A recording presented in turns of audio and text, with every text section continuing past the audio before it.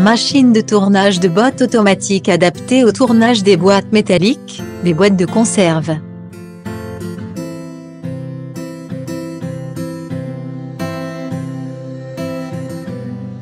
Il est spécialisé adapté à la ligne de machine, économise les coûts de main-d'œuvre et améliore la production.